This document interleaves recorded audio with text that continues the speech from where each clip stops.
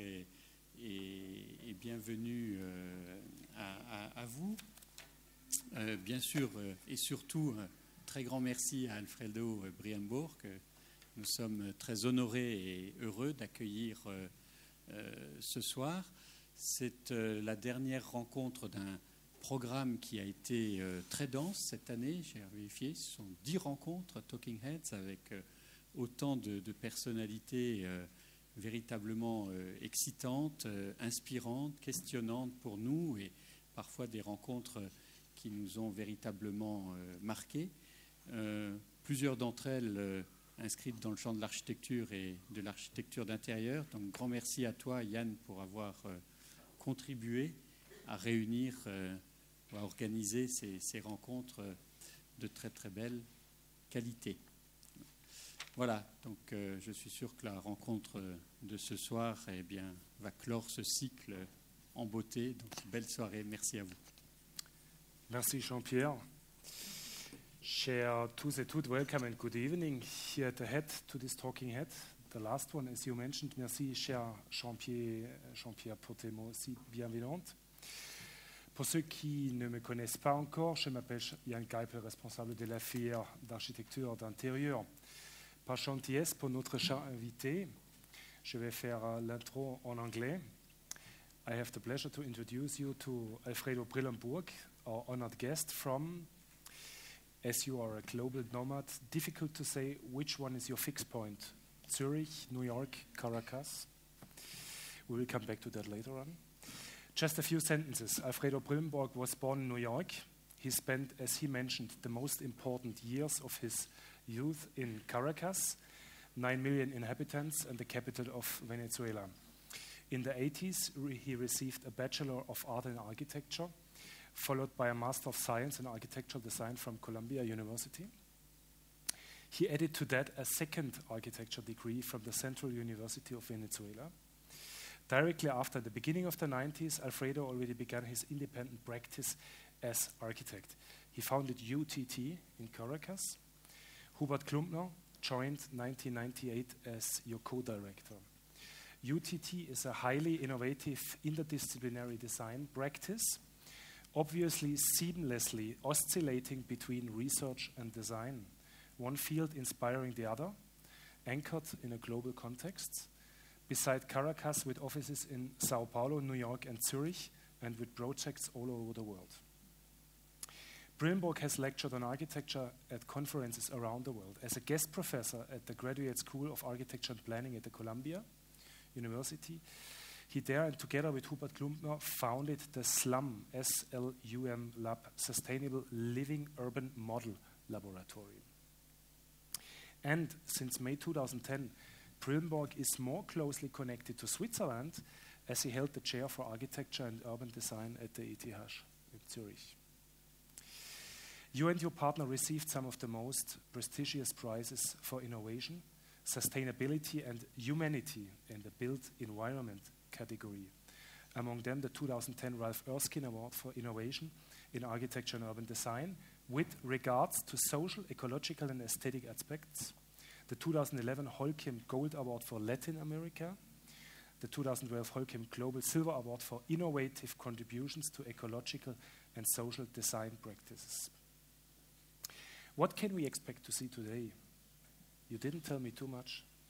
You gave a slight glimpse, but uh, Alfredo will present the Torre David, a half built, never finished 52 floor skyscraper in downtown Caracas, which has been home to thousands of residents who transformed the abandoned block into a vertical favela, complete with shops, tattoo parlors, internet cafes, hair salons, gyms, a church, a taxi system all invented and conceived, that's why I invited you, without a single interior architect. Question is if are interior architects obsolete? I don't think so. Even so, the transformation to a high degree is poor interior architecture. The research on and documentation of this project did win the 2012 Venice Biennale of Architecture and they're the Golden Lion. For the first time in history, half of the world's population now lives in cities. Cities grow fast, dynamically, and not always in the way governments plan. In particular, in developing countries, formal city planning seems to be in contradiction with informal urban development, settlements like so called and mostly negatively connotated slums that may serve the immediate needs of the inhabitants clash with the plans of those in power. You will therefore present us the urban toolbox, a method and system of thinking designed to empower citizens and city building through active participation of its citizen, or, as you say, where every person becomes a curator of culture and history. In our Department of Interior Architecture, we design and reflect, amongst many issues, on temporary ephemeral spaces, installations, solutions for temporary needs, interventions, expositions, and pavilions. You show a project which goes probably one step further. It's a sort of floating pavilions. The metro cable San Augustine in Caracas, an urban, urban car, cable car system, not only being an innovative transport system, but also featuring music, sports, and educational programs. Instead of thinking about urban development as a top down process, from the drawing board or the decision makers to the street, Alfredo aims to understand informal urbanism and its positive effects on the city as an inclusive laboratory for the study of adaptation and innovation, where communities are actually involved in the creation of the cities. The idea is to create collaborative spaces which allow for knowledge transfer and unforeseen activities and exchanges. In that context, you talk about open structure which can change over time. Embracing and fostering an inclusive bottom up rather than top down approach, it is somewhat amusing for me to see that one of your most effective and original projects is actually detached from the city by floating above the city. You brought some examples, which I saw, which will once again show how closely our profession as architects and interior architects is and should be connected to society. It's less about the beauty only of an isolated project or object, but about fostering social life, human interaction. On the other hand, you didn't always to become an architect. But correct me if I'm wrong, first a filmmaker, then a writer, then a politician, then a businessman. So, what made you finally become an architect? Did you find out that you will never make a good businessman? Or is it like you said in an interview that as an architect, you combine all these professions filmmaker, writer, politician, businessman in, let's say, a sort of new amalgam? Will we come back to that? What do you think the role of architects, of interior architects, is in our society? In Switzerland, we are already, in many aspects, in a very privileged situation as the country cultivates three cultural regions, three different main languages. You are yourself anchored in Switzerland, in Zurich, but as a creator with an open mind and the ability to observe and sense the needs of a situation, a place, a city, and its citizens, you can create projects all over the world.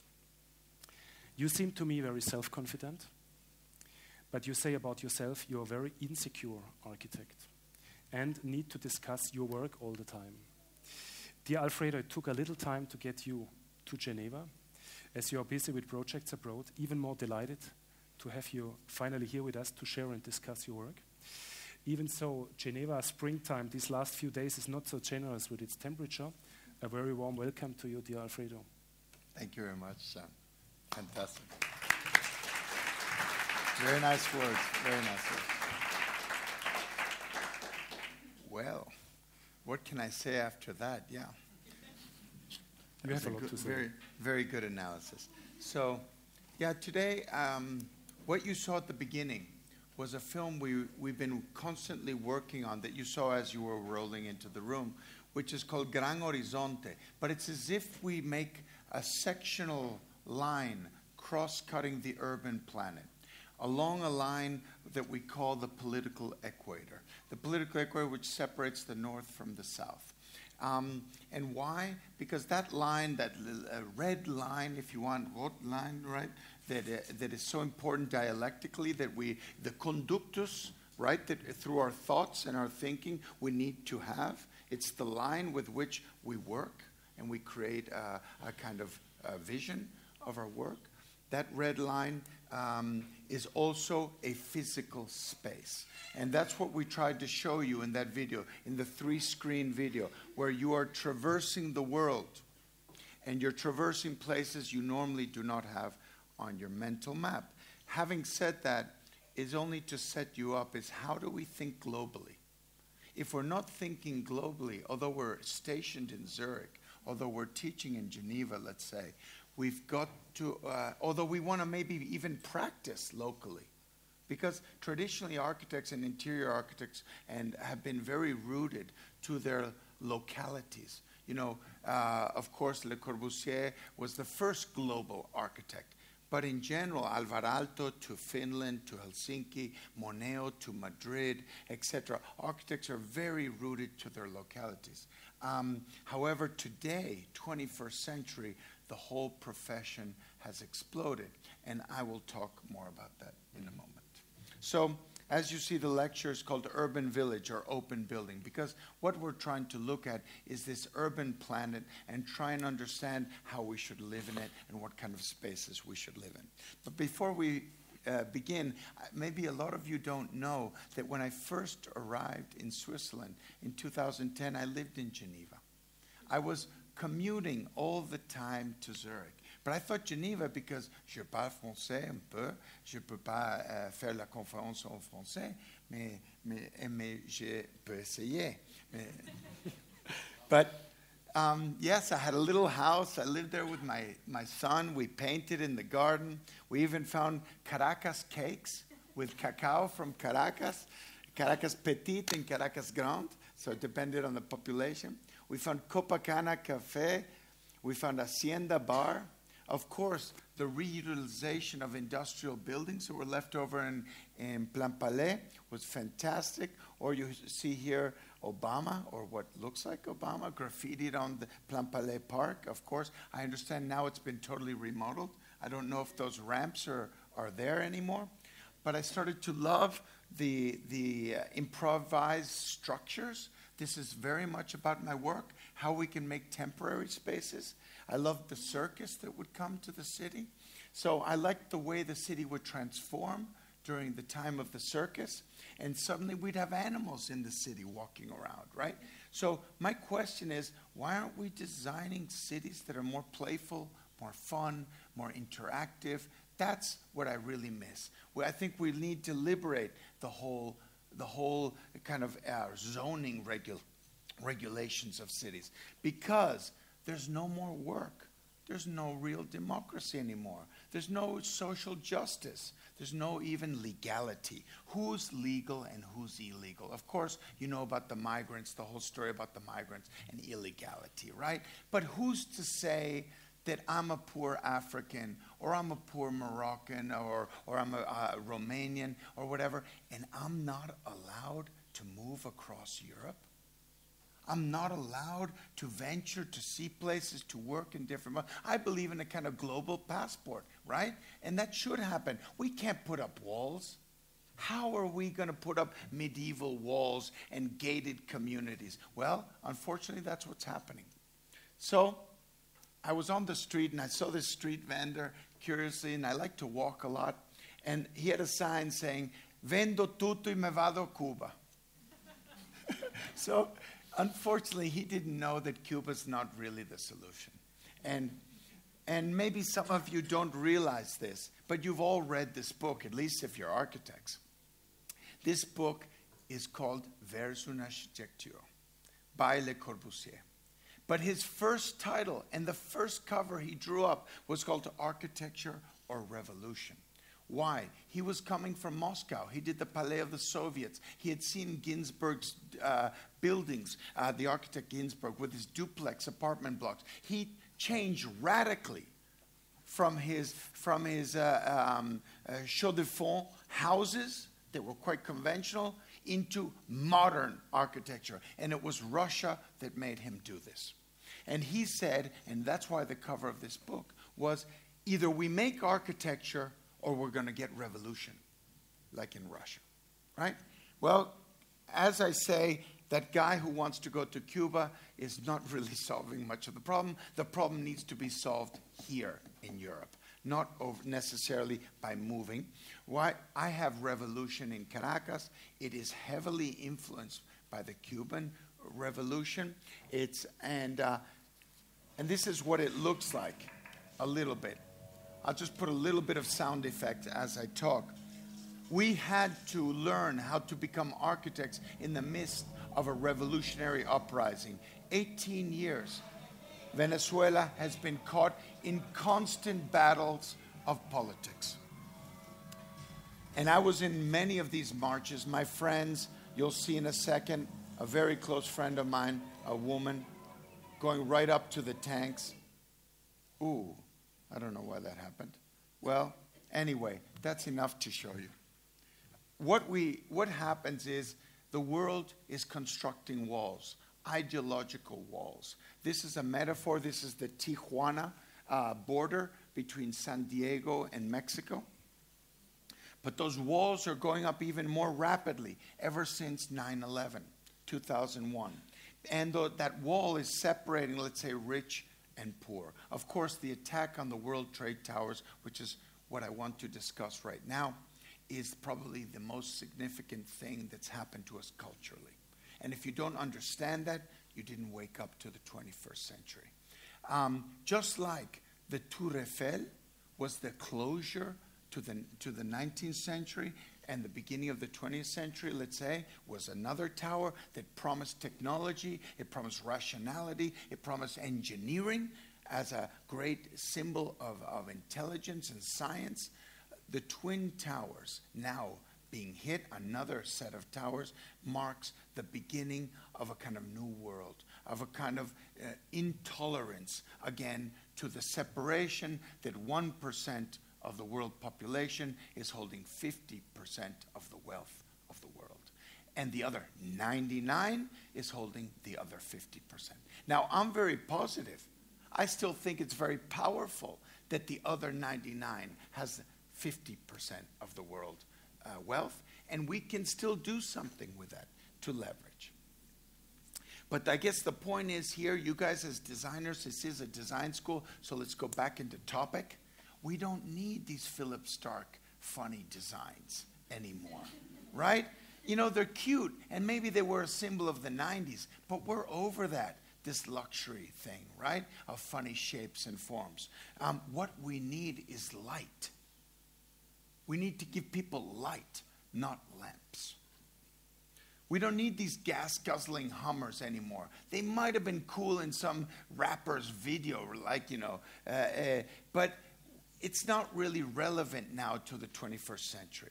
We talk a lot about smart cities all the time, but I question you smart for who? Right? Not all cities need high tech solutions and surveillance. There was a time when the world was trying to, in the 50s, 40s, and 50s, the welfare state was born. And governments had a strong responsibility to create housing for immigrants post war. Uh, in Europe, of course. And, we, and it was a good thing. A lot of people want to blame these houses, you know, for being the wrong type of architecture. I don't really think the problem was in architecture. I think the problem was that they were ignored and neglected. 50 years later, the things are up in flames, the banlieues of Paris. We all know that story, right? So, but what do we see star designers doing today? Building these neoliberal cities, which are actually cities for boards and banks and investment houses that have no contact with the ground. They don't even know where the workers are coming from or whether they're dying in the production of these cities, right? So again, I ask technology for whom? Financial models for whom? Governance by whom? Do we really believe in government anymore? Do you believe in Erdogan in, in, East, in, uh, in Turkey? Do you believe in Putin in, uh, in Russia? You know, or Chavez and Maduro in Caracas? Forget it. We don't, we've lost our faith in government. So what I believe is this whole idea of an alternative government system. Actually, Switzerland's quite advanced in actually putting everything to open debate and breaking down the stages of governance to the local cantons. That's quite interesting. And that's why I'm also interested in Switzerland. Social diversity might be lacking in Switzerland, though.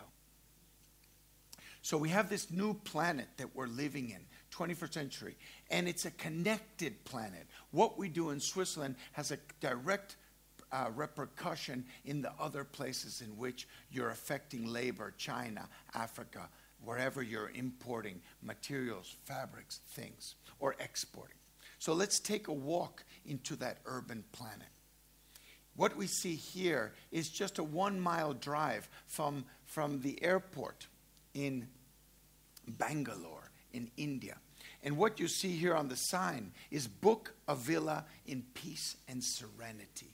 But what you don't, didn't capture is they're going to erase this village. That was a makeshift village. It grew over 50 years' time in land, agricultural land around the airport. They're going to erase it. And along that same line, this is one street where we're going on, there's apartment buildings that are called Luxuria, Gold Summit, Water's Edge, Necklace Pride, Greenwich. And then a life full of privilege awaits you, right? Homes that speak of the good life. Is that for the poor? India is really poor. So that whole sequence of development down the main street of the, of the city coming into Bangalore, probably the high tech city of India, right, is not for the poor. It's speculation. In fact, all those apartments will probably remain empty. It's just a speculation with the price. Well, it doesn't surprise us. Real estate has always been the vehicle for countries and states and cities to make money. United States was actually gridded. They drew a grid all across the United States in, in the 19th century and so that it would be populated by immigrants coming from all over from Norway, from Poland, from Italy, from everywhere, coming to the United States. And there was a famous, not gold rush, but actually land grab. Go get some land, and, they, and then they would put a cataster to it, and then they would charge you property taxes. And that's how the United States grew. But we have a situation of the poor in the world now that's quite severe. We have 30 3% of the world population is poor. And the UN predicts that that's just going to grow. In the next 30 years, most of the people, 2 billion people that will come onto the planet, will go from 7 billion to 9 billion, will be poor.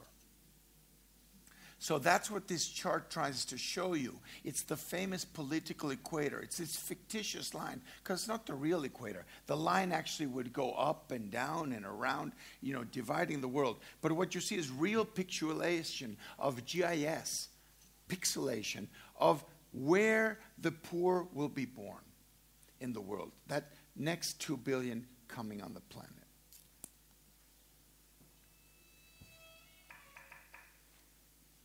So India's obviously the most dramatic case. So we went to India and started to ask a bunch of colleagues of ours what's their position on poverty.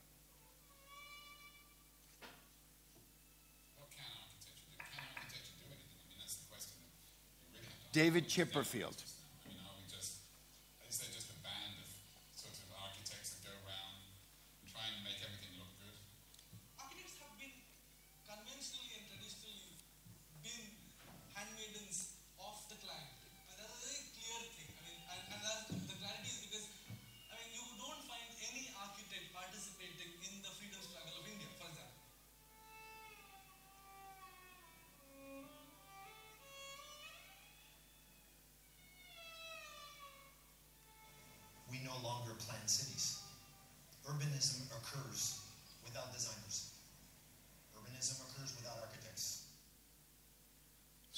I don't know how you see it. You can see the glass half empty or half full. I'm really optimistic. I actually see it half full. We actually can work towards development. In fact, when we invented this term, informality, informal city, right? It was used from economists to describe informal economies. But we use it to say that these areas are places in transformation, are, are, or let's say, are formalizing. They're in formation, right? It's not that they're, it's the opposite of formality and that there's some, that would be out of formality, right? But so what we went on to do was to create magazines, books, the famous Slum Lab you talked about. But and we started to ask friends like Jeremy Till, who runs um, a school in London, um, and he said constructed scarcities because the, the lack of resources that scarcity affects every aspect of our lives. We are told that there is a housing crisis, but everywhere we look, there are empty properties. Scarcity here is constructed through the machinations of tenure and ownership. As soon as we understand scarcity as a constructed condition and not an inevitable one, then it makes it possible to creatively intervene in the process that constructs a particular scarcity. So we saw ourselves. The explosion Oh, of yes. your position? Yes, we did. Matter of fact, we, we heard it and, and, because I was just like standing there pretty much looking out the window, I didn't see what caused it or if there was an impact. So you have no idea what Oh, right there's another one, another plane just hit. Right, oh my God, another plane has just hit, it hit another building, flew right into the middle of it, explosion. Oh my God, it's right in the middle of the building. So either we have a very short memory, because this just happened 14 years ago. Have we forgotten that image? How powerful that is? I think we need to reposition ourselves. I think we need to address scarcity. I think we need to address the poor. I think as designers, there's tons of possibilities to start to make your work more political. Because if governments don't do it, who's going to reestablish the social contract? That Rousseau, who was actually Geneva born, I believe, or around here, Rousseau was, was coming from this area, right? Invented. So if the social contract is broken, we as intellectuals, public intellectuals, have to reestablish it. And I'm sure there are ways to do it with interior architecture. So, what I see the architect as, as an interface between these worlds, about between these ideologies. We have the possibility to create a critical median state. It's not the government state, it's not uh, uh, the state maybe in which we live, but actually we're coming from another place. We make this kind of in between state, which is our cultural output as architects and designers. We take our biographies, our personal biographies, and we combine them with the rationality of response or the strategic response, the logic with which we a, a solution or a locality gives us.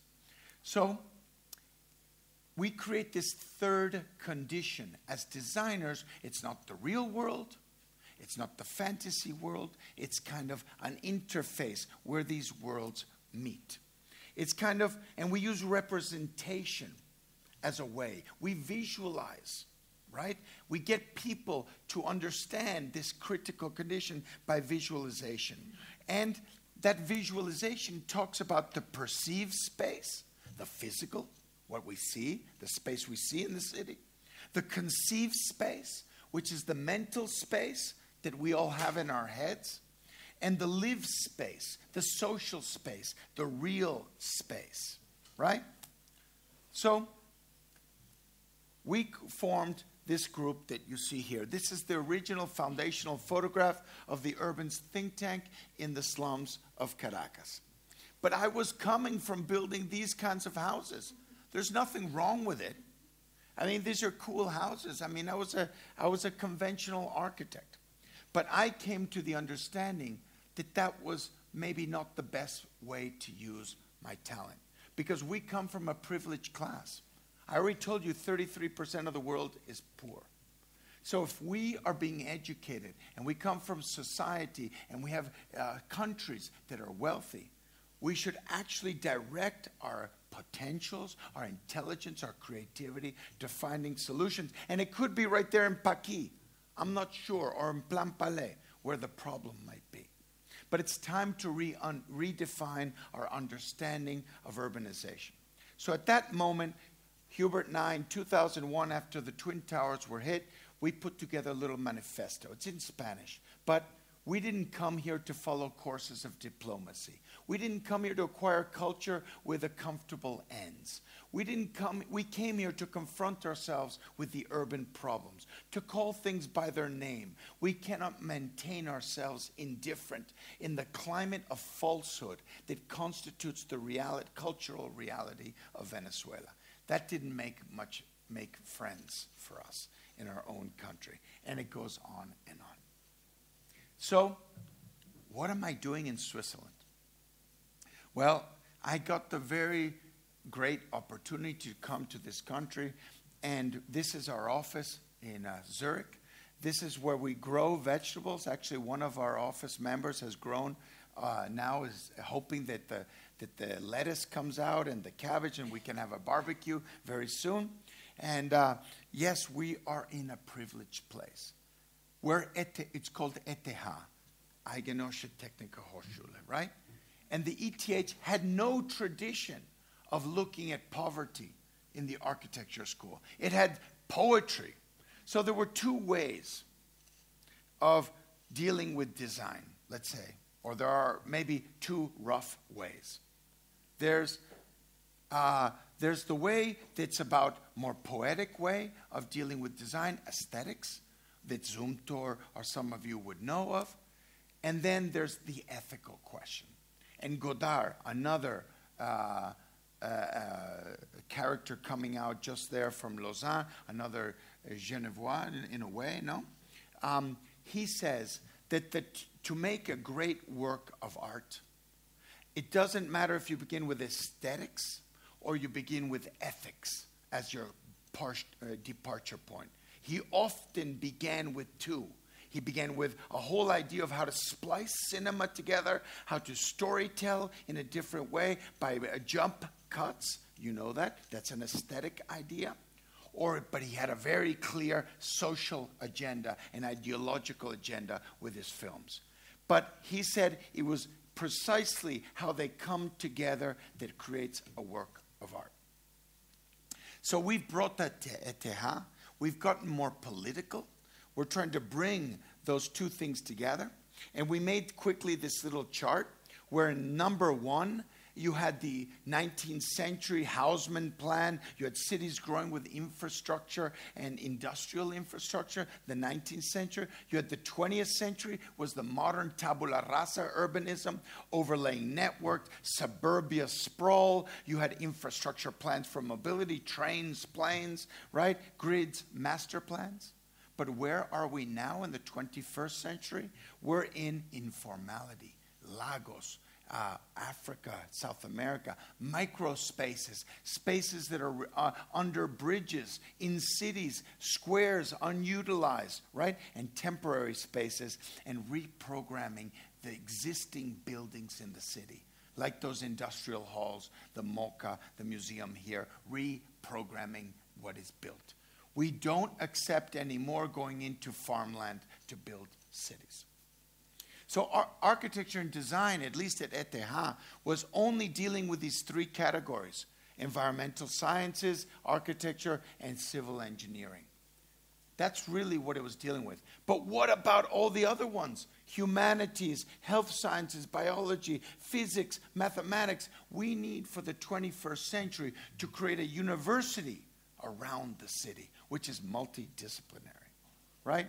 So we have to understand why we do it, design. We have to interpret what we do as design. We have to understand where we act as designers and identify with whom we collaborate. We are in a time of laboratory, of experimentation, because we don't have enough solutions. The solutions that clients were coming to us for, calling us for, are not really the solutions that are needed in the market. So we need to invent the things that we believe are needed. We need to incubate. We need, just like there was tons of money that was poured into Silicon Valley, right? For the internet to boom and to get to the place where we are today with our thousands of apps on our phone and Uber, etc. We need that same amount of investment to solve the poverty issue. Right? as I talked about before, the perceived city, the conceived city, the lived city. And what we did was to start to project. We started to imagine these hilltops, areas, because we were in revolution. The people were clamoring for change. There was a real problem in Caracas. So maybe I was lucky. I was in a place where 18 years ago, this topic was put into my head. So I'm fortunate for that. We lost everything in the process. Maybe you guys don't know, there's no private property anymore in Caracas. There's private industry. The ones that are favored by government are the only ones working. All the other ones have been taken away. So maybe you don't realize it because Caracas is not in the news. Because no one wants to mess with Venezuela because it provides 25% of the oil for the United States. So who wants to mess with that? So we started to imagine cable cars, tall vertical buildings for opening spaces, dry toilet stair systems, the manifesto, and here you see a young Hubert, my partner, wearing the manifesto t shirt, trying to sell it because we were making a living by trying to raise funds to do the projects we really wanted to do as designers. We didn't have any clients at that moment, it was all a garage startup. But the first thing we did was map our city, our locality, to show where the poverty was. So 60% of the population of the city was living on 40% of the territory. And then we went on to map Rio de Janeiro, which has pockets of smaller slums. And then Bogota, which has along the periphery, because it's a valley, it's a mountainous valley, right? And then uh, Buenos Aires, also pockets and then Tijuana, as you saw. Why do you guys think that Tijuana has the poverty just like that, right below the line of the United States, of the border? Because it's doing maquilas.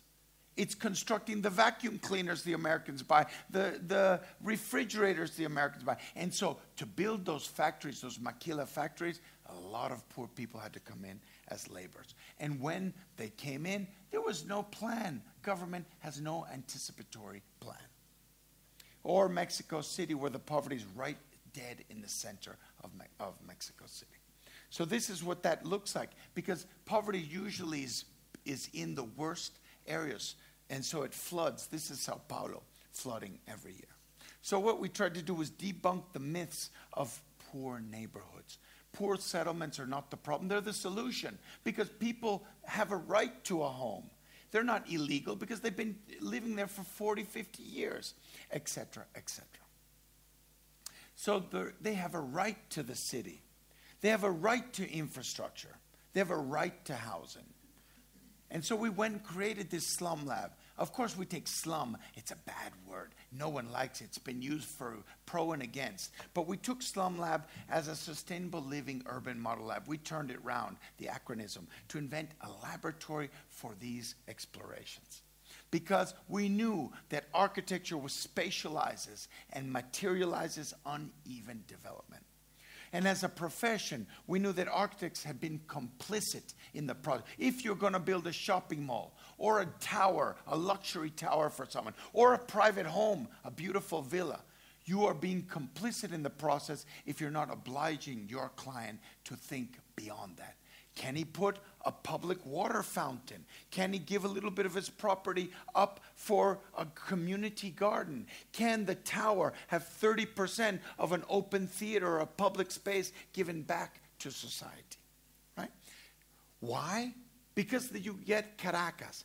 Caracas grew exponentially from the 1950s to the 1980s in GDP growth.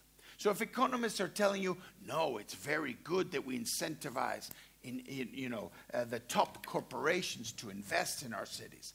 You can have GDP growth and you can have growth of poverty at the same rate. As I'm telling you, that's why 1% of the world population holds 50% of the. So we made a book of ideas to talk about how this absent infrastructure and investment calls into question distributive issues of equity, access, and social justice.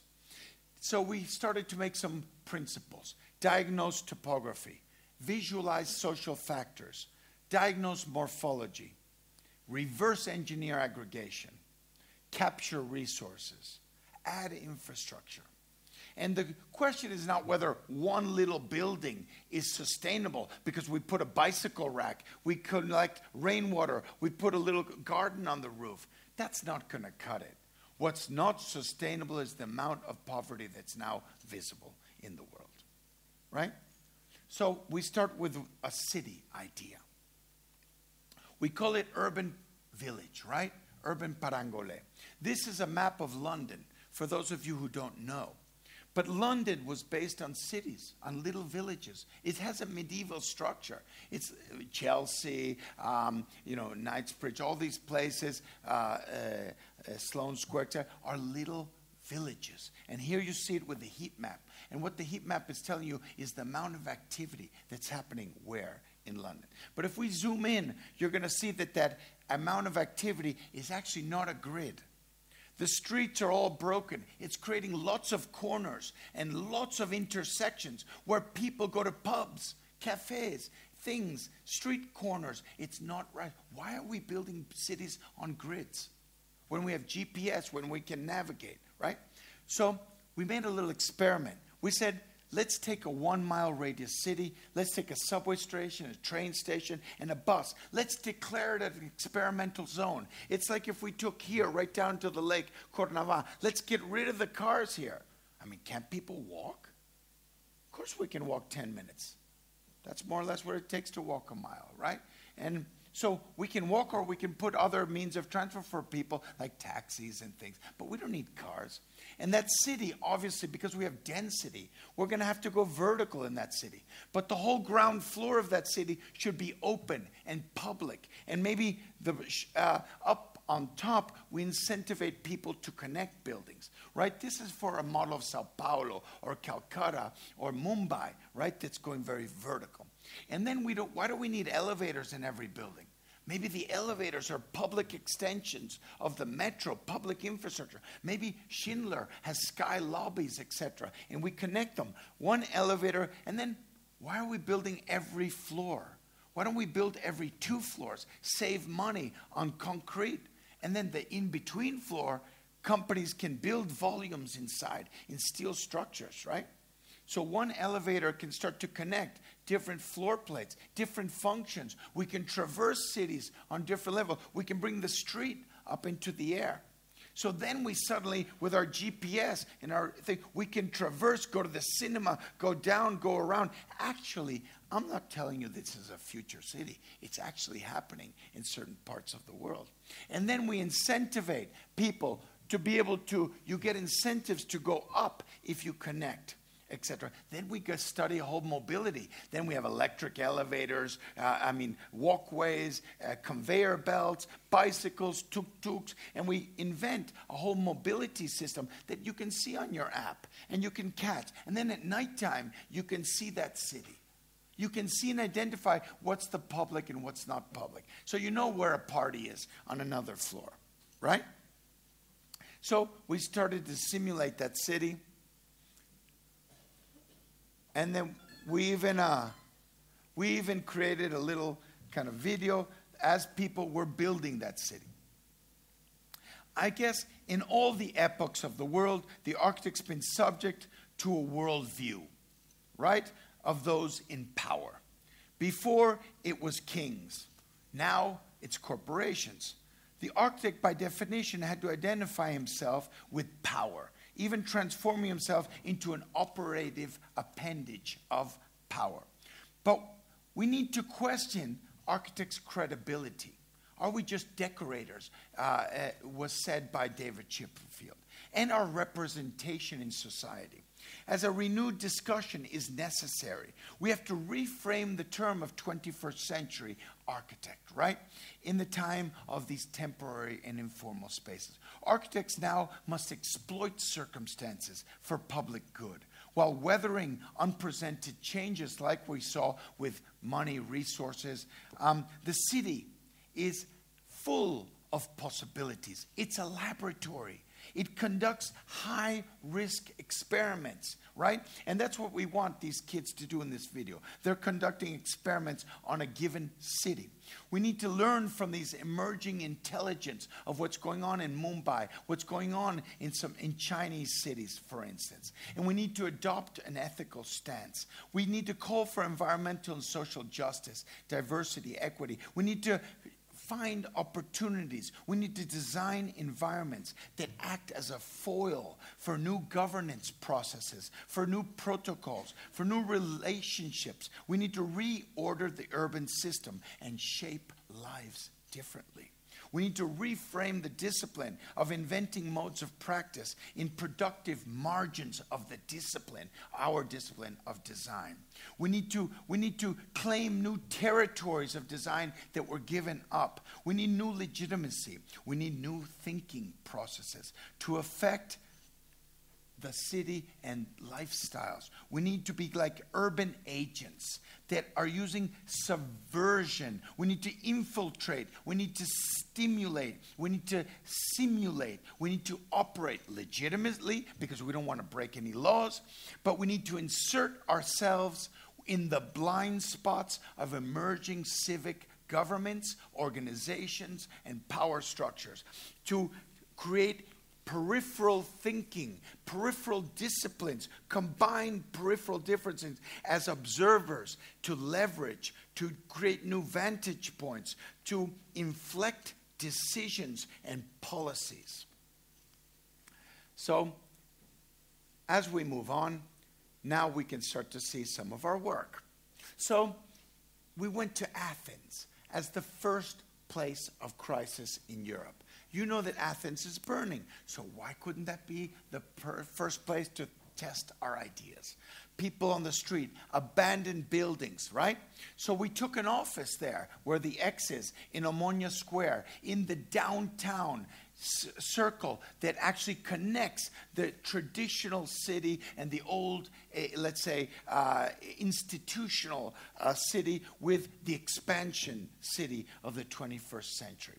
We took an office, we started to call people, we gave lectures, we had a debate, we looked at immigration, and the immigration on this map, there's Omonia Square, this is the area. Most of the red is where the immigrants live. So the zone is clearly established. We looked at listed buildings, cultural buildings, archaeological spaces, traffic flow, qualities of life, vacancy of buildings, elderly population, public space. We mapped it all out. What you see here is all the empty buildings in the downtown of Athens, either closed up, boarded up by private investors, or actually um, government buildings that is closed up. We started to map the public spaces that you see in, in yellow, the cultural buildings, and how, and you will see, and then the traffic flows, right?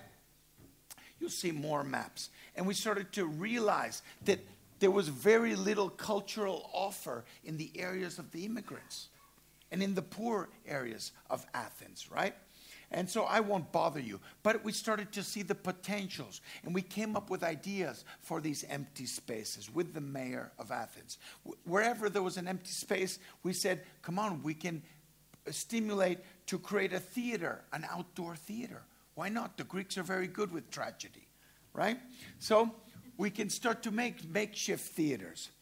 And then we can take parking lots and we can build these kind of open structure buildings that can change over time. So right now they have to be homeless shelters, but in the future they can be startup companies. And the train station. How can we not have a city that has a good train system. Right now, Athens has four lines coming into it, right? But we can connect it to Rotterdam. We can connect two ports. We can do a high uh, speed train system, right? And instead of putting it full of Starbucks and shops, we can make a, a university, a, a technical university in the top floor of that train station. So it can pay for it too, right? And we bring social awareness. We make 11 tracks. Then we went to Utrecht, where a group did call us and said these were the mothers of the third age. They were immigrants. They were being evicted from a place in Utrecht, where, which is an island here. It's flanked by highways and by, by a, a, a canal and by the train station up north, up top right? And it had some rebuilt old blocks, and it had fantastic diversity. It has fantastic diversity and immigrants all living together. And they wanted to kick them out because they were owned by cooperative, which are private public companies that own these housing cooperatives. And we said, don't knock them down because the land values had risen so much that the corporates wanted to make a killing, move people, the immigrants, out of the center of the city. And we said, don't do that. Make high end apartments on the top of the buildings. And so we started to look how we could retrofit those apartment blocks and add new, new uh, uh, um, walkways and new living rooms and add new kitchens, right? And add new rooms without destroying those blocks. And we added everything that's in orange onto the building, right? And then we added new stair towers and elevator banks because there were old people and they were walking up. But now the immigrants who came in the 50s to build post war uh, Holland, they were old now. And so we took those buildings and we added the new top apartments. And this is basically what we added very simple. And we plugged it in to the apartment. And we created a whole new idea of transparency, of looking in, of walkways, of being able to see. And then to compare that to Caracas, we dreamt in Caracas of having a cable car of having the pedestrian city on these informal hills, of a mountain full of houses, or what we like to say, one house the size of a mountain. Because people were working collectively. So we said, let's just give them hubs, subway stops. But instead of building a subway, let's give them a square and a station full of social activities. So we dreamt. We made a quick collage. The collage and visualization. We rallied about 300,000 signatures to, or to get that built. But they didn't let us do it. It took us 10 years. So we, we built first stairs, then we built uh, crossways, then vertical gymnasiums. We started to stack sports fields one on top of the other. And we made it a kit of parts so they could be prefabricated in, and then built very quickly so that we didn't ruin the little soccer fields. And we could build them in three months and put them together. And then we made a school for autistic children. There was no school in Caracas for autistic children. One of my friends had an autistic child and went to the municipality begging to make a special school. So we went with her and we found land and we uh, sourced it. We got the funding together and we built the school. But we didn't have the right kind of land. We had only a small little plot, and you can't build an autistic children's school in vertical because they can't coordinate. They can't go upstairs. They can't go up in elevators. They get claustrophobic. One teacher has to take two kids up to the classrooms. So we made a building like the Guggenheim. We made it like a ramp system. We wrapped it around the classrooms. The kids now see where they're going. They can look in. They lose the claustrophobia. They walk up the ramp. They look at the trees and nature all around them. Here you see them going up to the classroom. Oh, sorry. I have to go back for a second. Give me a, give me a second to go back to that because you might like some of this. So, what does all of that look like? That's what you're going to see in a moment. So, we need to create feedback loops. We need to create, oh, we can put a little, little soundtrack. We need feedback loops. We need the, our partners to be in the field. We need to connect with NGOs. We need to connect with social workers. I sometimes feel I'm a social worker. I need to go to bankers. I need to find funding from foundations to build the kinds of projects that we. I'm becoming an urban agent, right? To restructure the assumptions of what an architect should be and to question the way we live. And we need to, maybe like Giancarlo De Carlo, a great Italian architect in the 1960s, he questions whether, whether architects really were looking at the right clients. And who are the clients of architects? It's the people you're trying to serve, whether in a hospital, a school, a neighborhood. Your clients are not the people paying for it. Your client, in fact, people should pay for things and necessarily give the right to you to figure out what's best because the client is, is people, right? We cannot become an elitist profession.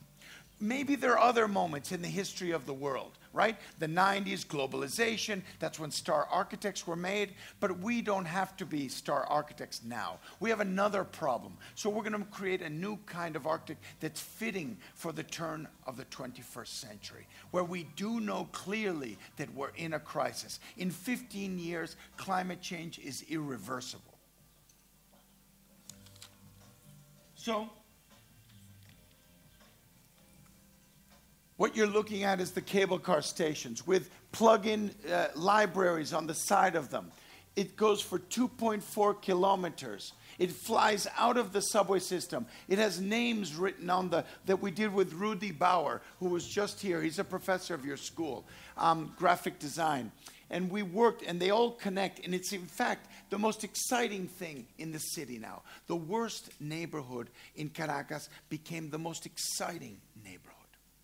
So now I take you to imagine a little bit more. So in the 60s, there was this guy called John Habraken. He's from Holland. So nothing that I say about an open building is new. So we need to relive history. So if I first came to architecture because I loved aesthetics, and yes, I was taken by Corbusier, Fenêtre en longueur, the, f- the five points, the pilote, the raised house. Of course, I love that white architecture. But then as I, my practice when i encountered realities politics economies etc i started to reformulate and took a more let's say ethical position. And now i'm rethinking the whole thing and trying to figure out what my place in history is. So i'm trying to reconnect with history because we're not teaching history appropriately. So now i'm going back to reconnect with the people who actually in the 60s and 70s started a whole revolution of thinking but they couldn't continue because the 70s oil crisis came. And John Habraken invented on gridded paper, he said, let's plan a building that has a square in the middle. It has a thickness and it has stair systems and circulation diagrams, but basically it leaves all the apartments open. And you can configure your own apartment as you see fit. So we just build the framework for the building and you and each client reconfigures his interior. I brought that all for you right? And so, but Corbu, of course, already was thinking of this. He did the domino house. Why is the famous image of the domino house open like that? Does anyone know? Anyone have any idea why the domino house is open, shown as open slabs? Of course, it was about the creative structure, concrete slab structure, right? Was the predominant modern tool. But it's open because this is 1917. This is social housing. He wanted people to use the, any available material on the ground to, from the war to fill in the walls. He didn't care what was filled in with, right? So, the Pritzker Prize winner of this year was Frei Otto. He just died. So, in elegy of him, what you guys didn't know is that he built an open house.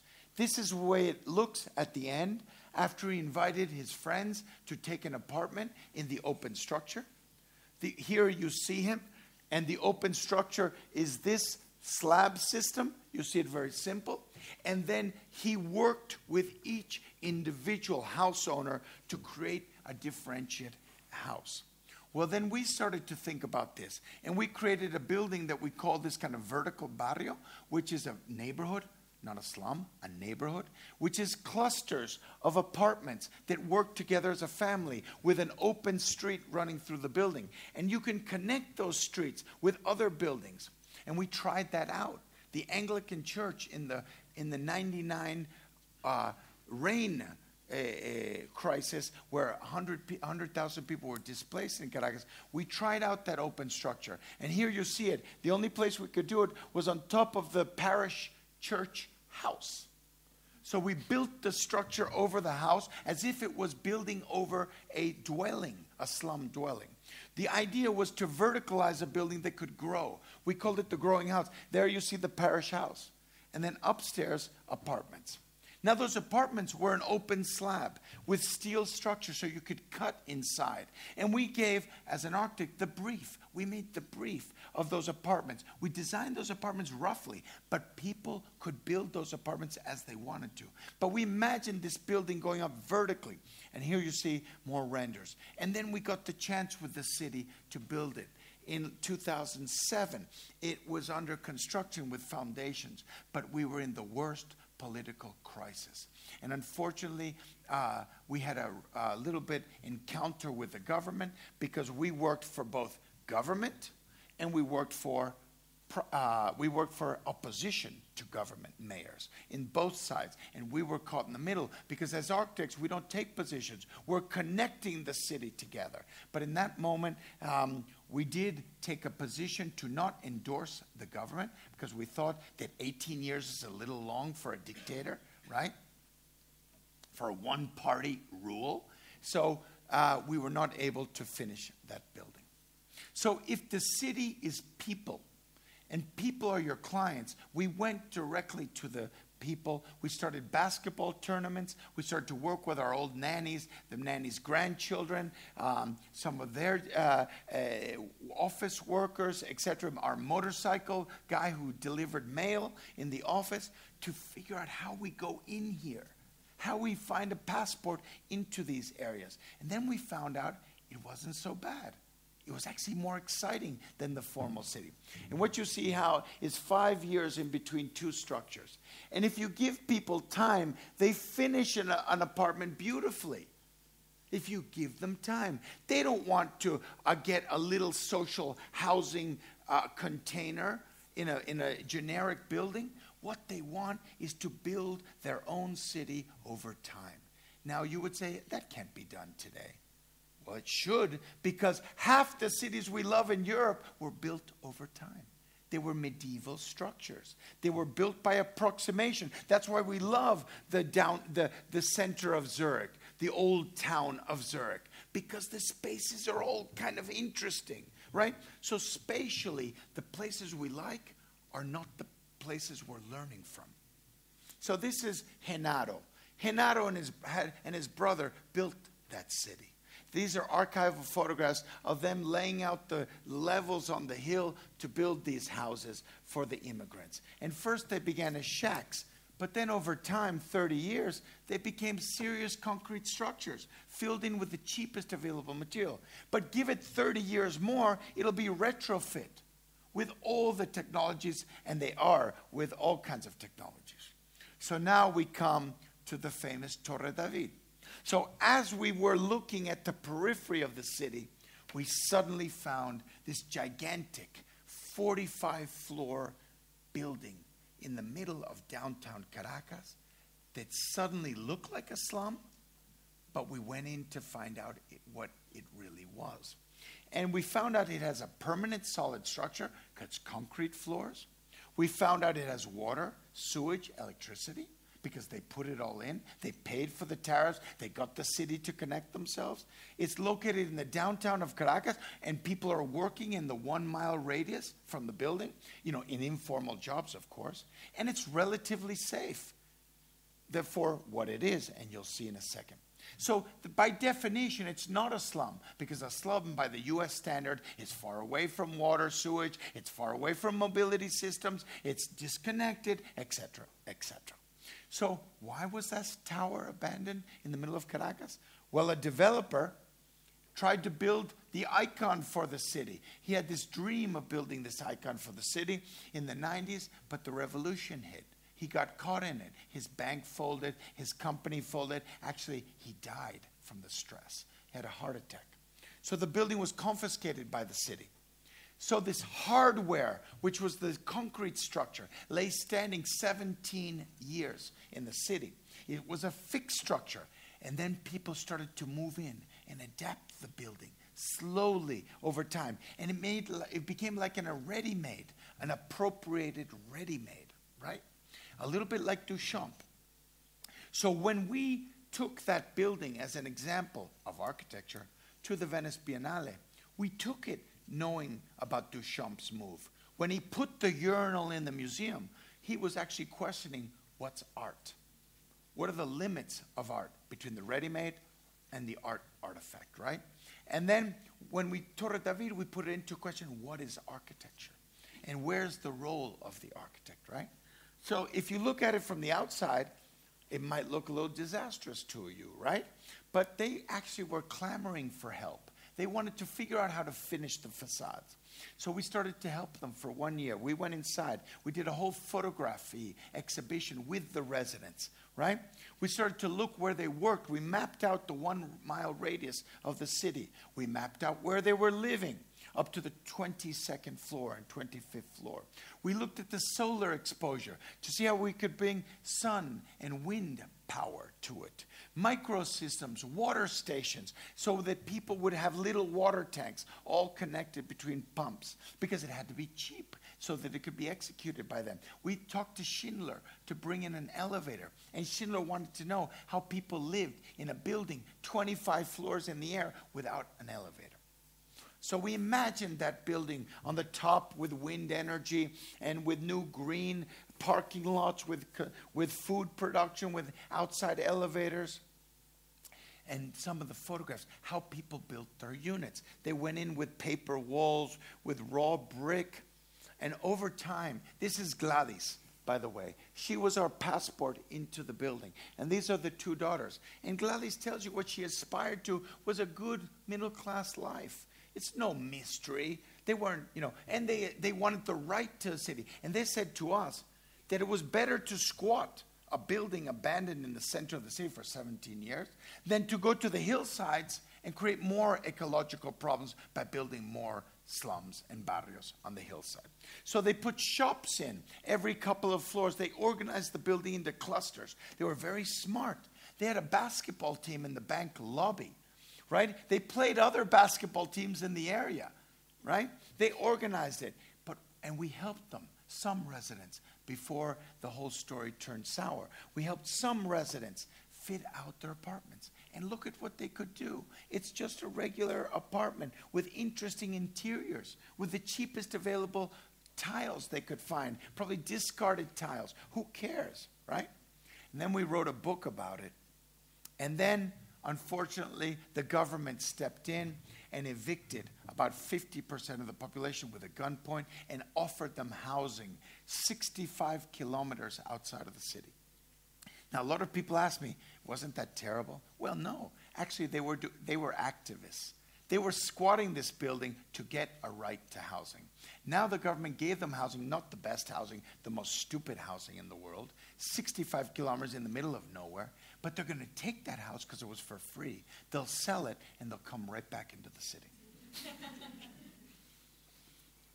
so the story's not over as it never is in India, Africa, or South America. So we started to imagine the same idea of the tower organized in clusters. And we imagined new forms of towers and architecture that could be these kind of new social housing open structures, right? And then we said, what's the easiest thing we can do? Parking lots. Parking lots are the perfect open structure. So we said, wow, there are going to be a lot of parking lots in the world empty. And we can turn them into anything. Why? Because we're going to have electric cars. And maybe we won't even have cars. We'll have lots of cars, mobility cars that you just rent. So parking lots are perfect and they adapt to different shapes and forms, right? And then we found some parking lots that were illegally transformed. Here you see a parking lot with offices.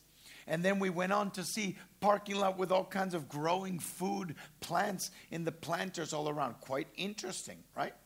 And then we then we programmed a shelter idea that parking lots for Turkey, for instance, that has earthquakes, could become shelters, hubs, helicopters could come, energy hubs. They could be used in different ways, right? And then we said, no, but maybe we could make parking lots like a village, like a cluster. How would that be? So we took the right population, the right size of a vill- little village cluster, and then we put a ramp, like a parking ramp, that would go up. Then we said, maybe this ramp in the beginning can be bicycles for motorcycles. You could park it. Maybe it's just a deposit, and then you can turn it into a shop. Then you can turn it into a home, right? And then we thought that we just simulated how that structure would be occupied. Cars in the middle, squatting tents, and then over time, green infrastructure, solar energy, wind tunnels, facades, shops. And then we took that and we started to play a game. We started to play a game as if each one in our office had some rules and they were residents, where you would put your shop, where you would put your house. And then we took an empty lot here and we densified it and we played that game over time.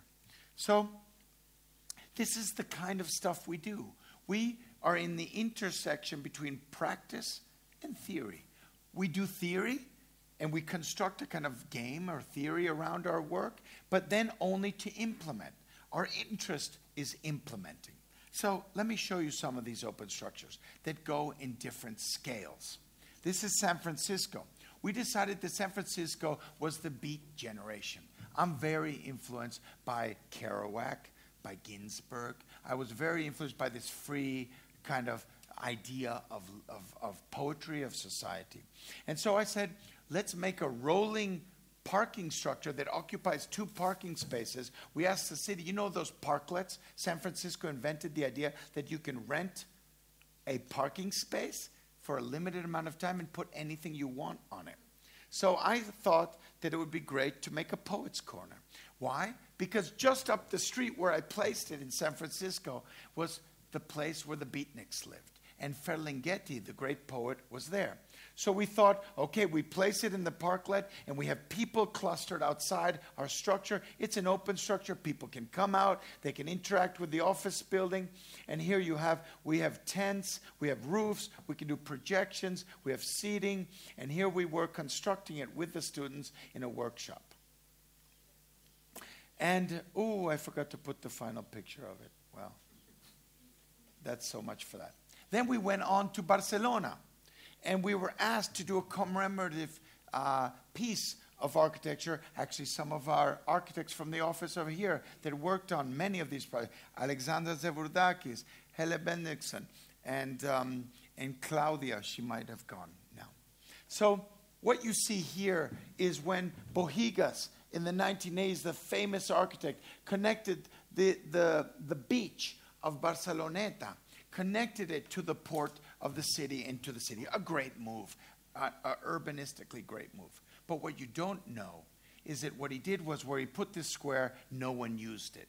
Because he made a tabula rasa and he destroyed all the restaurants that were there on Barceloneta Beach. It was called Chiringuitos. So I was asked to do a project that would commemorate 300 years of the liberation of Barcelona. So, of knocking down the walls. So they gave me this site.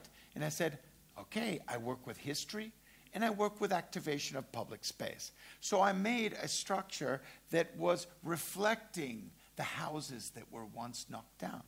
So it's a comment to my, to my predecessor, Bohigas, that he erased memory, but I was bringing that back. So with that temporary structure, it could be used for market, for children playing, etc. And we called it Rayuela because it was the year of the commemoration of Julio Cortázar, who had written a great novel uh, called Rayuela, Hopscotch. Right? Hopscotch is a game children play. But if you know the novel, it's also only at the end of the novel do you understand the history of the, of the character in the novel. So it's a little bit only if we understand history will we be able to design better. So at nighttime, it would become used for different things, for discos. And you could then, when the project was all over, it could be relocated as public space. And then the whole thing was constructed with the, with the recuperated sails and fishing nets from the fishermen. And here you see the walls out of earth, sand, and earth that we did as contrapesos, counterweights, so the structure would not fly away. It became places where people could sit. They became soccer goals. At nighttime, it became places for parties, etc. And people played with it all along. And it was a very soft way to infiltrate, to make a comment on the politics of Barcelona. Um, maybe maybe I can skip this music building because you saw it. It's a Brazilian project, and um, we went into the worst favela of Brazil. I'll just show you this diagram. We can't make master plans anymore, it's too big. So, what we can do is acupuntura urbana. We can make acupuncture hubs, like Wi Fi hubs. We can bring program culture, health, social housing to certain areas and then let the rest of the areas upgrade slowly. So, in the worst area, we decided to put a park. And then on top of that park, a music school. Why? Because you know the Brazilians, they love music. And we found that they had, the faveladores had started a little youth orchestra. So we built that uh, music school with an outdoor theater, and the whole bowl recuperates the rainwater, so the building works with the landscape, and the theater is part of the building. So it becomes all one connected work. So architecture now starts to extend itself into the landscape. It can't work without the landscape. And here we are opening the first holes. The project's under construction. At this very moment, they're clearing the site. And then we went to Barranquilla. And maybe with this project, I'll end. And with Barranquilla didn't have a music school. Uh, sorry, a, uh, a school for carnaval because Carnival was a great tradition. Barranquilla has it, Trinidad and Tobago has it, and Brazil has it. But Barranquilla is a great old tradition of it. So we were asked by the community to have a craft school to build the masks, the musicians to play. And so, because we know the nature of South America, our designs go into the structure. Forget the walls. The walls we also program and the closures we program, but we build the intelligence into the structure because we know engineers won't change it once they stamp the structural drawings. What happens with the rest of the building, we don't really know. So here we are dealing with it, and this is the school for the samba. We place it's called EDA. It goes right in downtown, right next to an old factory and we connect to that old factory. We build it inside the factory. So we're reutilizing old buildings. It's a building that has a stair system, and then we build it over a ceramic vault because we want to revive and have people be conscious of the way the Bóveda Catalana used to be the way that industrial naves were built and cities were built before, with, with uh, ceramic. And the building's quite simple, as all our architecture. As I said, it's a structure with holes in it. It has a clean form because we want to be able to reproduce these buildings anywhere. The music school can be shifted, the vertical gym can be taken to other places, and this uh, school can also be taken to other sites. It has a very clear dimension fitted for um, many sites. As you see it turning, it's an open structure, again, for education, as you see, with different circulation patterns. Here you see uh, the treatment of the concrete. It's built in concrete. It has trees on, and it's a prefab system, a kit of parts that comes together and forms the building in slabs, all prefabricated so we can build it very quickly. This is an interior of the classrooms.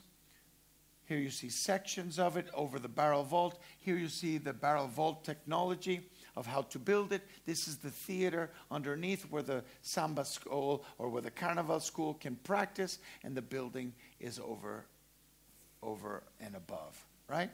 And, and of course, the whole surface of the comes right over the, the theater, and the, and the closure of the buildings will be like almost in beaded nets of color, also built by the craftsmen. And um, yes. So, are we? How are we for time now? If you want to show the film, then we should slowly come to Okay. the last So. I'm working in Africa now, and I'm just coming back from Africa yesterday. Believe it or not, I landed yesterday, so I'm a little tired. But Africa is actually the place where we should all be working. As uh, Edgar Pieterse says, it's an African urban revolution right now because it, we need to assume that Africa is taking a more central position in the urban imaginary of theorists and architects. Why? Because you know what's happening in Lampedusa. A boat's uh, trying to reach the shores of Athens or trying to reach the shores of Italy, right? People, the fastest way to get out of poverty is by migration. So if Europe doesn't want that problem, it's got to invest in Africa. It can't put up walls forever. And so this is the downtown CBD of Cape Town, the most luxurious city in all of Africa. It's right. It's a it's a wonderful city. It's limited, but on the outskirts of the CBD is 2,700 informal settlements of 7.5 million living in poverty, right? And the government, although it had good intentions, apartheid had really good intentions to build houses for the poor. And Mandela actually promised houses for everyone. They can't build it fast enough. So we have a huge challenge. How do we build fast, good, and, and, uh, and cheap enough, right? Because people are having fires. They're, they're, they have kerosene lamps, which, the, which they're using for cooking, and they fall over at night for heat. So, how did this all happen? Well, you guys probably heard of apartheid planning. They actually planned neighborhoods for white, for colored, and for black, right?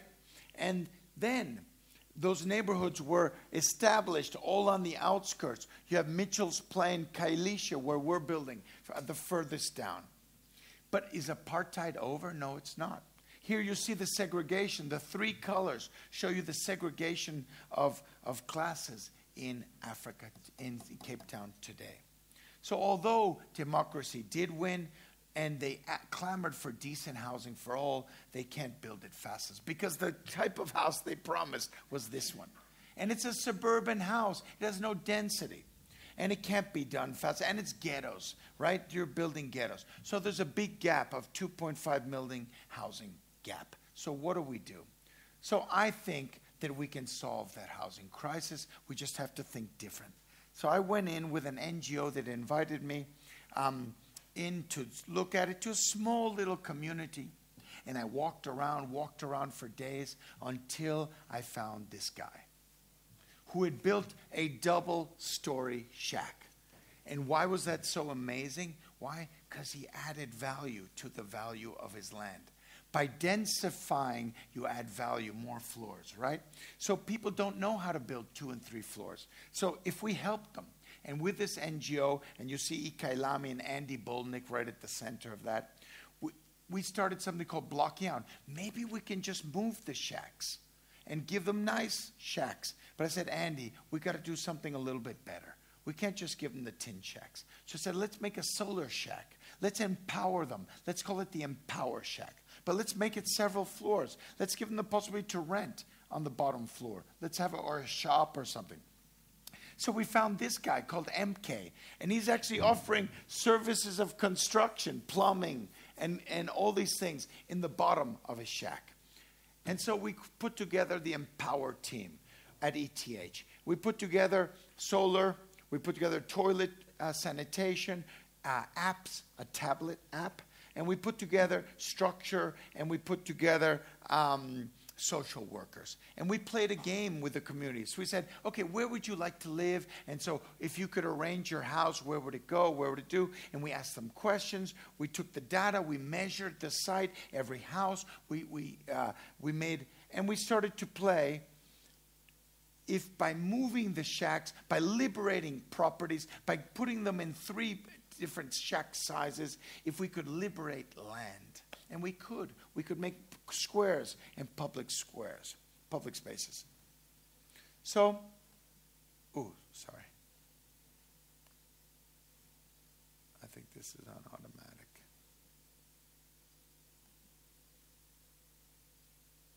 Yeah, there it goes. So we made this app at ETH, which actually you put in the project, you go to the site, you use a Google map, it gives you the site dimension, then you can draw roads into it. You take it on site with the inhabitants. You work with them. You show them that this could change. And actually, you empower them to think differently about their own reality. And as you're working with the community, as you're measuring them, as you're relating people together, as you're having this, this kind of interaction, you're putting them together. You're making them a stronger political voice so they don't get erased, so they don't get moved out of the city. And then you say, well, what kind of house would you like to live in? How much can you pay? You look at their income, you figure out the size of house, and then you move them slowly over time. You cluster them together, you put in their names, you, and then you have three forming a cluster, four, you move it in, and then you start to create roads, accesses, and then at the end of the day or the end of the week, you have a plan that you can say, these are the people, this is their, how much their income is necessary, etc. Let me know. The people in these communities, are they having Wi Fi? Are they having like iPads? They, or they um, need you? Many of them, there? em- em- well, there's about 10 of them out of, out of 78 families, 10 of them have already uh, dishes, satellite dishes, and about 15 of them have smartphones already. And so they don't have Wi Fi. But they will. That's one of the projects is to use these clusters, which I'm going to show in a second. Um, you make these building typologies, you make them c- prefabricated, and these actually these courtyards will become hi-fi clusters, and actually you microcredits can be grouped together by individuals, and we can make them actually one TV int- uh, internet connection and one cable connection to be shared among all of them. Right now they're doing it individually, which is insane. And so we came up with this new prototype, this clustering, and then we brought urban farming in, of course. It not because it's going to solve the food problem, because again, it's a tool, it's a cohesive tool. And then we thought about technologies of how we could build, how we could make a scaffolding system. We're still working on that technology, how you can build over the houses, you can move the structures, you can demolish the, the house once the structure, top structure, is ready, etc. And um, yeah, this is, and I continue on to show you then the solar model which is incredibly interesting. The solar model is cool because if you rent the roof of the house, people will get a subsidy on electricity. They'll be producing electricity to the grid and they'll make some money off of it. So they take care that no one steals their solar panels. You integrate it into the design of the roof and you do feed in tariff. It's not that they're going to have batteries in their house, that would be too expensive. No, you feed the, the electricity into the grid and then they get a subsidy on their and then you can, instead of companies renting land to put solar fields, you rent the roofs of the houses. So it's all an idea of making this building two story shacks. You liberate land. You have public space. You can go three stories. You can put rental units. Those rental units also subsidize the construction of the rest of the houses. And then you reblock. And here's Pumezo, who cried when he, they demolished his shack and he volunteered to be the leader of the initiative and we built it illegally no permitting from cape town government and we just built it we demolished it. We built the structure on sand. We made it in very lightweight material so people could see. And there's the house and the whole community rallied around to see the new prototype. And of course this was a three day house. Now the new house that we're working on um, is we've done the census, we worked with all the community members. I'm just showing you house by house and the game, and we now know where everyone wants to live. There's Danny from the office doing the whole workshop. There's me working with all of them. You have to get out of your office. You have to get on the ground. Here we clustered the units. Now we have three and four apartments clustered around one stairwell. And we reblock it into a central road and we do all the mathematics. We figure out who goes where, the roads, the sewage system, the blocks. The blocks will take on uh, micro loan credits, and the houses will have greenage. We'll direct all the uh, gray water to, to places where we can grow and put trees. And we have a kind of vision of a transition model for housing. It may be not the kind of house they were expecting, because these are 50 square meter houses on two 25 square meter floors, and they can retrofit it. They can get the kitchen, the bathroom, the toilet, they can do insulation, they can build it over time. They get a simple house at the very beginning. They're connected by walkways, but at least they're waiting for a house in dignity. And that's the point. In fact, they're probably not going to move ever because it's taking 20 and 30 years for the government to hand over people those houses. So, with that, I keep in mind that maybe the architect has to step away. He makes the framework for the house, but he lets people finish it and build it themselves over time. And but we give the details, we empower people, we teach them the technologies, but what we see is a whole community building those houses themselves. But then we bring the discourse to Switzerland to raise the funds, to have people be able to donate. You can do crowdfunding, you can make magazines.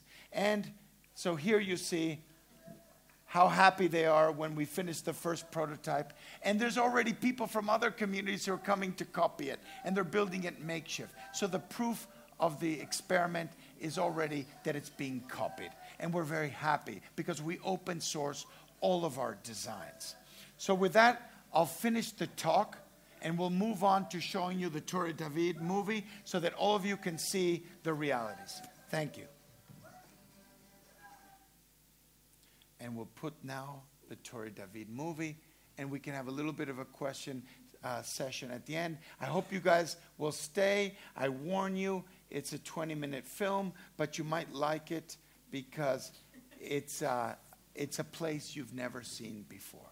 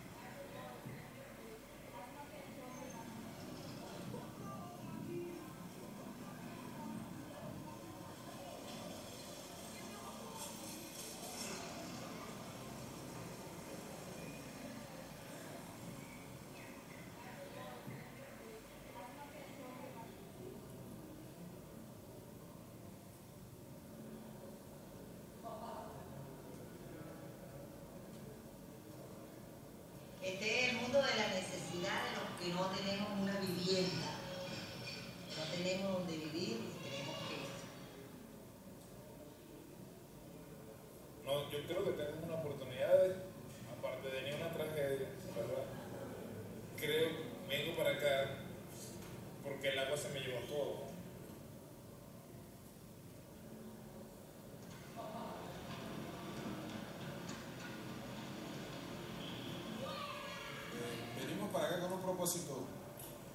de tener algo propio. Estamos luchando poco a poco para ver qué, qué resultado nos da el tiempo.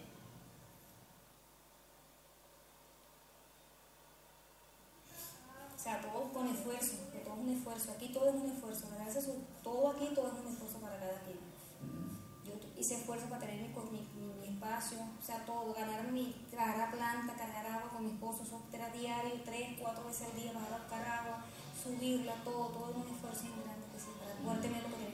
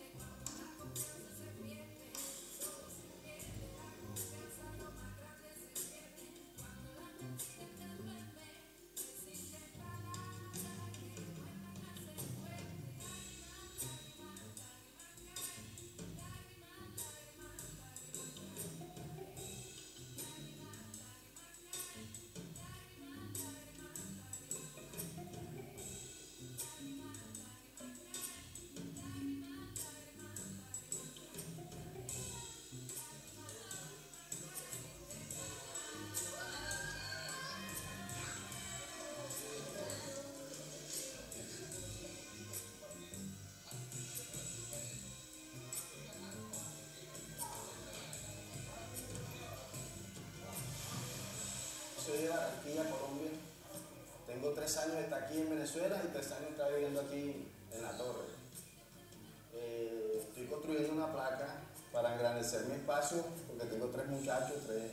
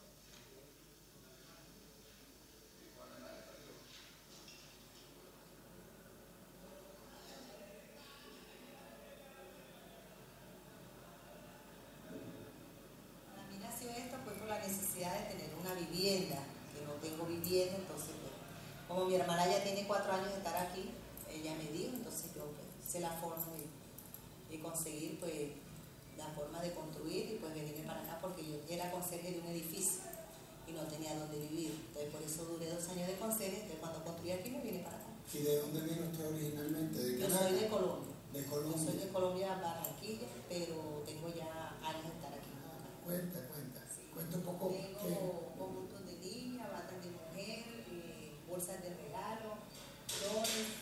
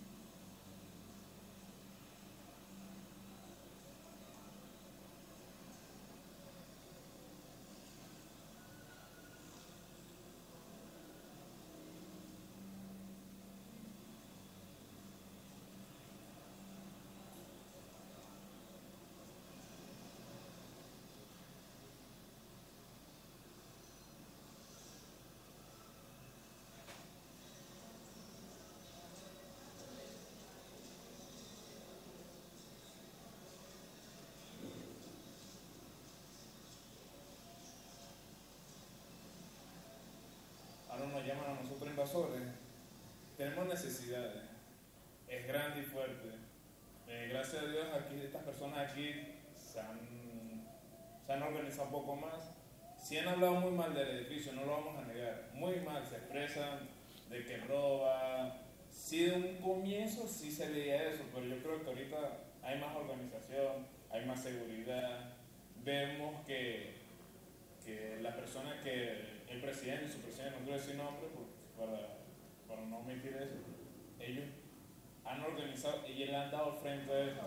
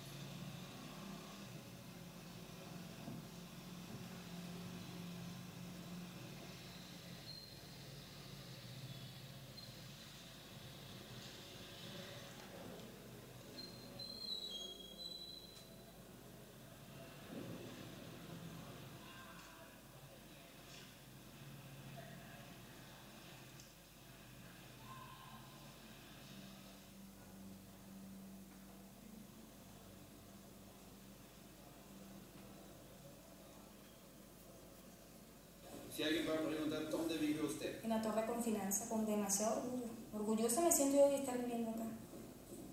y la gente, la gente conoce eso. Lo de confianza me decía, "Ah, mentira, vives ahí. Y Sí, sí. hecho. Sí, lo dicen. No, tú estás loco, ¿verdad? Yo sí vivo ahí. Y con mucho orgullo lo digo, vivo ahí.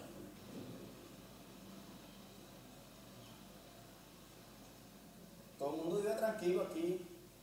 Paga sus cosas, pagamos el agua.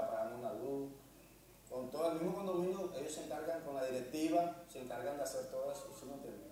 Bueno, mira, tú sabes que yo le pasé una carta por el internet al comandante, ¿no? Y le hablaba de por qué no hacer aquí un segundo parque central.